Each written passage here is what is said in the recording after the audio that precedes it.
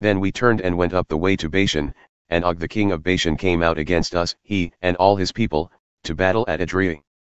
And the Lord said unto me, Fear him not, for I will deliver him and all his people and his land into thy hand, and thou shalt do unto him as thou didst unto Sihon king of the Amorites, who dwelt at Heshbon.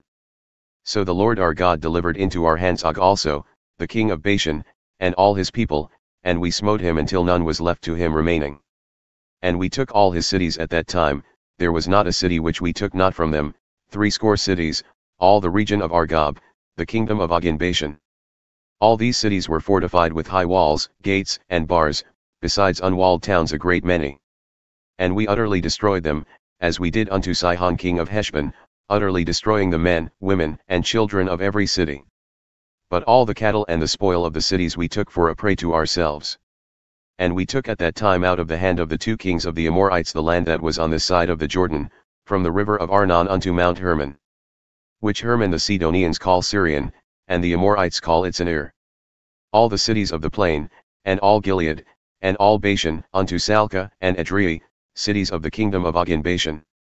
For only Og king of Bashan remained of the remnant of giants, behold, his bedstead was a bedstead of iron. Is it not in Rabbath of the children of Ammon? Nine cubits was the length thereof and four cubits the breadth of it, according to the cubit of a man. And this land, which we possessed at that time, from Aroer, which is by the river Arnon, and half Mount Gilead and the cities thereof, gave I unto the Reubenites and to the Gadites. And the rest of Gilead, and all Bashan, being the kingdom of Og, gave I unto the half tribe of Manasseh, all the region of Argob, with all Bashan, which was called the land of giants. Jair the son of Manasseh took all the country of Argob unto the borders of Geshuri and Maachathi, and called them after his own name, Bashan Havoth Jair, unto this day. And I gave Gilead unto Machir.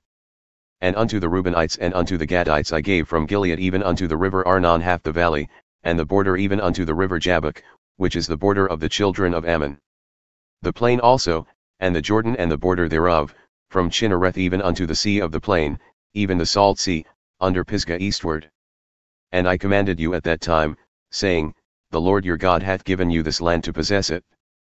Ye shall pass over armed before your brethren the children of Israel, all who are meet for the war but your wives and your little ones and your cattle for I know that ye have much cattle shall abide in your cities which I have given you.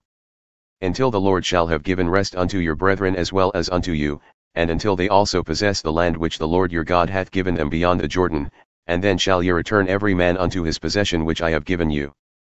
And I commanded Joshua at that time, saying, Thine eyes have seen all that the Lord your God hath done unto these two kings, so shall the Lord do unto all the kingdoms whither thou passest.